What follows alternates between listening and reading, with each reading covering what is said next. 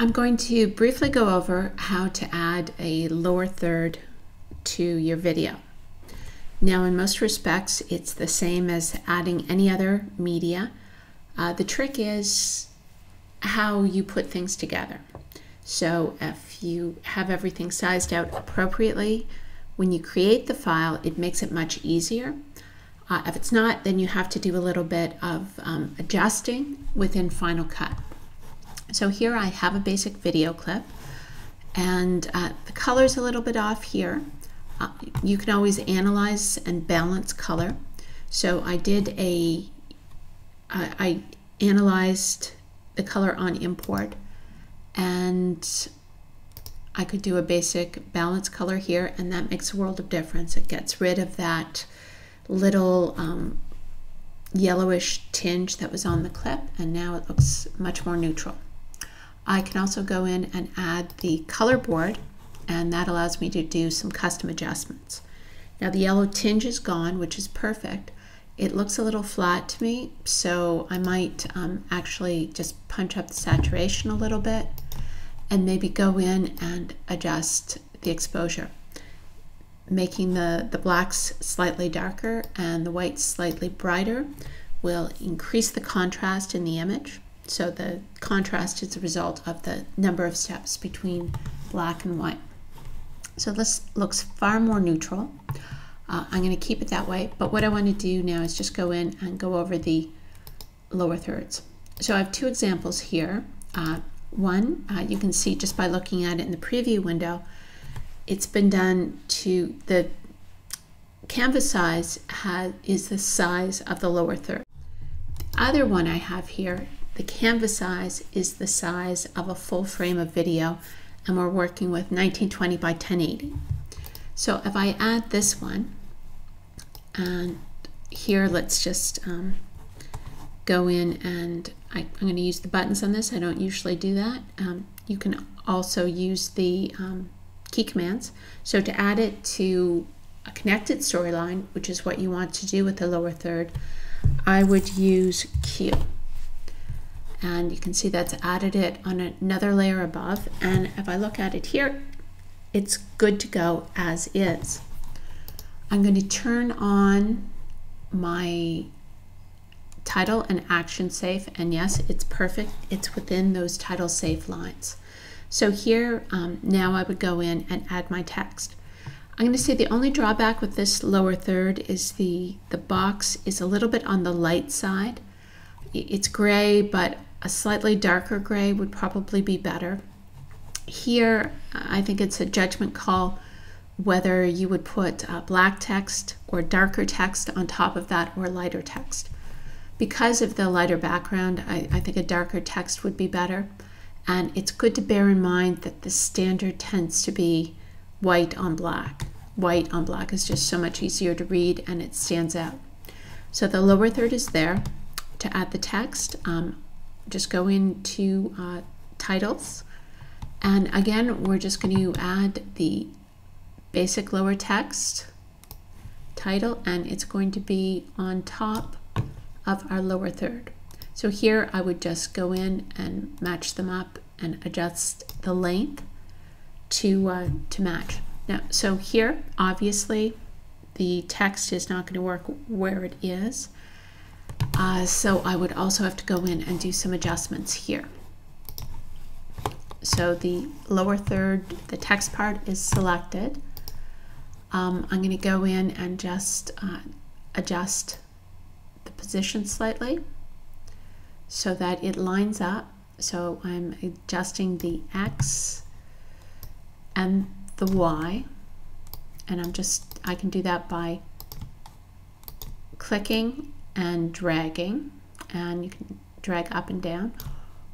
Or um, I can you know add a number in. Clicking and dragging works if you're kind of working with the, the mouse. So here I'm just custom adjusting the position of that lower third. Works well.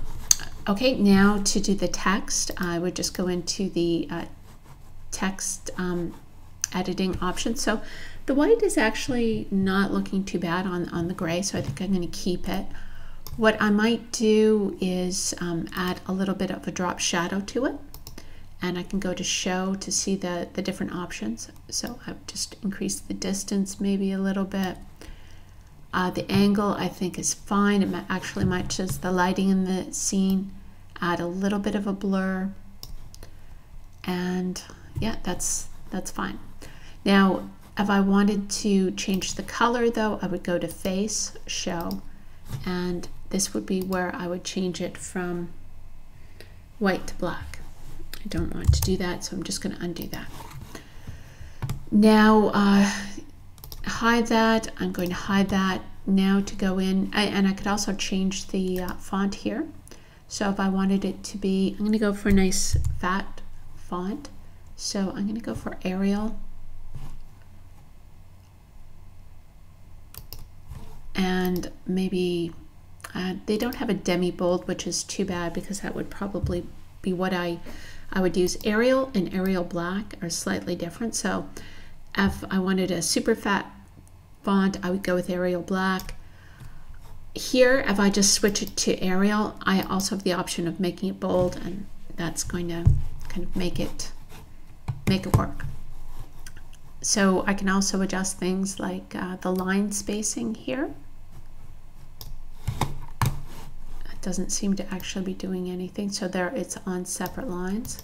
Just uh, zero that out. Actually, uh, let's just reset that back to whatever the original was. Now uh, to adjust the text, of course, um, click on the text box and then enter in the name.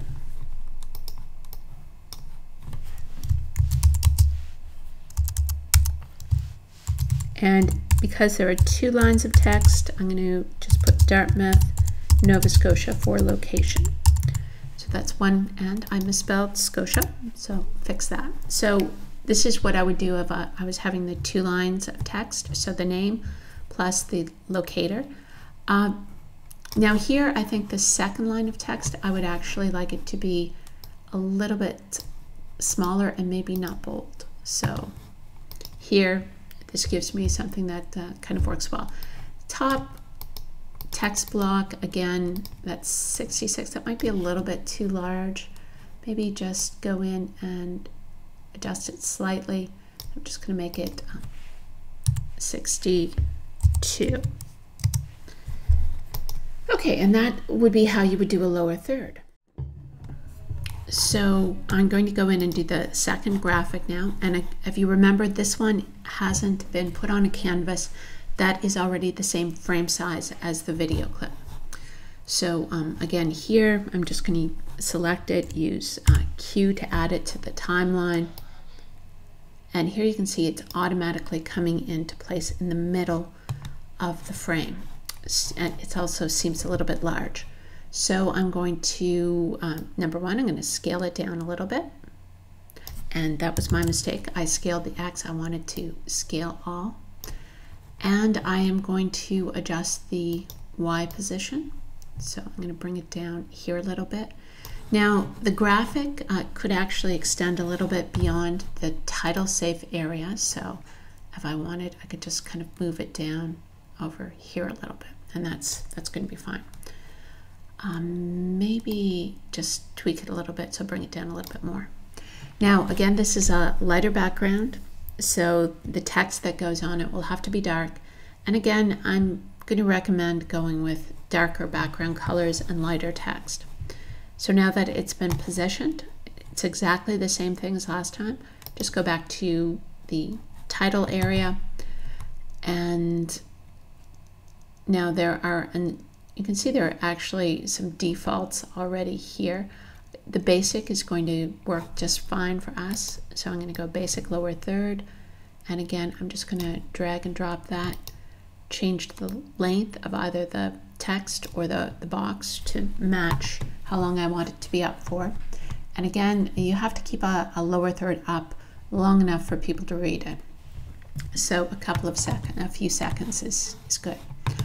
Um, so obviously this isn't going to work the way it is in terms of the position of the text. Uh, so it's the same as last time. make sure it's selected in the timeline.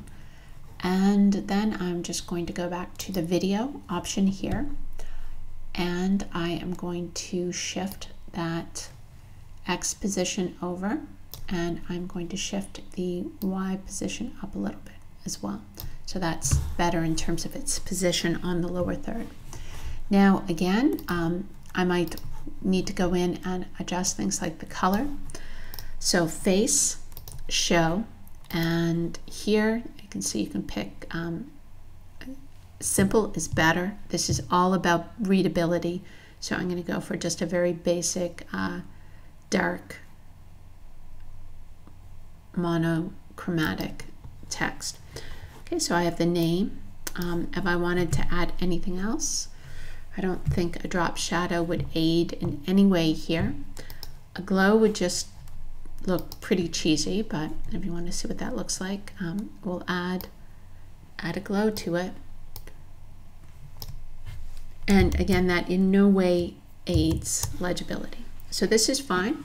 Uh, now, how you have to work will really depend on how you went in and did your lower third graphics to begin with.